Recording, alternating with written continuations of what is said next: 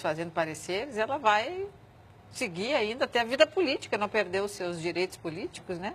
E ela tem, uh, o Brasil paga para Dilma a partir de é, agora o seu salário, é isso? Essa é uma questão a sua que, manutenção. É? Essa é uma questão que não foi falada, mas é importante que os brasileiros saibam que é, ela vai nos custar por ano um milhão de reais. Ela vai nos custar por mês cerca de 68 mil.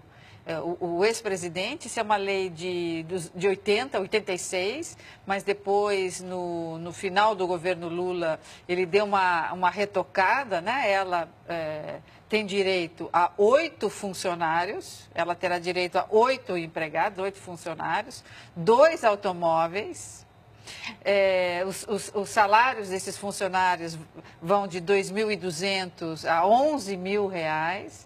Então, ela terá. Isso é eterno?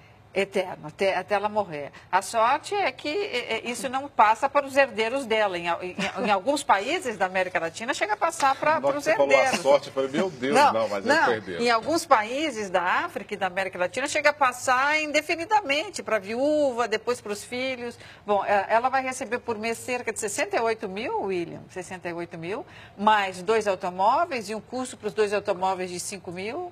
Ela poderá trocar esses automóveis eh, no padrão de um ômega a cada cinco anos. Por isso, o custo da, da, da, da Dilma por ano, o, o, cerca de um milhão.